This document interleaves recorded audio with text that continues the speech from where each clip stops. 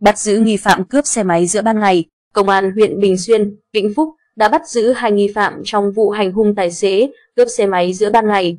Ngày 27 tháng 6, Công an tỉnh Vĩnh Phúc cho biết khoảng 14 giờ 15 phút ngày 19 tháng 6, Công an huyện Bình Xuyên nhận tin báo của anh NVT ở xã Đạo Trù, huyện Tam Đảo về việc anh và bạn là NVL bị nhóm thanh niên đánh rồi cướp hai xe máy.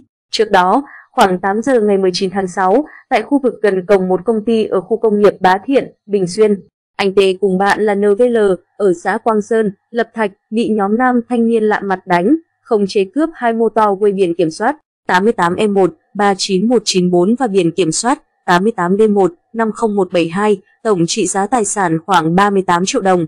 Sau khi tiếp nhận tin báo, cơ quan cảnh sát điều tra công an huyện Bình Xuyên huy động lực lượng để làm rõ vụ việc. Quá trình điều tra xác định DVD, sinh năm 2006, ở huyện Sơn Dương, Tuyên Quang, là nghi phạm.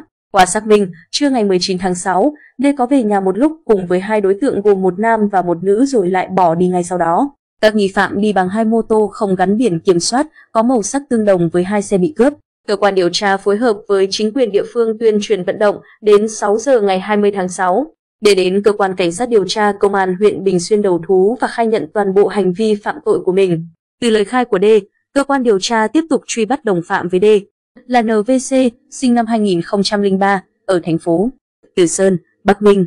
Đến 16 giờ ngày 21 tháng 6, NVC cùng đến cơ quan cảnh sát điều tra công an huyện Bình Xuyên đầu thú. Vụ việc đang tiếp tục được điều tra, làm rõ.